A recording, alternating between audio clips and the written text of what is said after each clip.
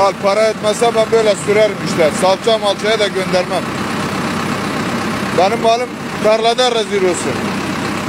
Öyle salçayı falan götürüp de bedavada spot ettirmem ben. Böyle sürerim. Böyle tarlayı sürerim ha böyle yerde gitsin. Her biri bir elma gibidir ha. Sağlam domates. Ha ben böyle sürerim. Fabrikalar kazanmasın. Herkes benim gibi yapsa kimsenin emeği boşa gitmez. Sürün anasını satayım tarlayı. Al. Bak 250 dönüm domatesi süreceğim bak. Ha sürüyorum ha.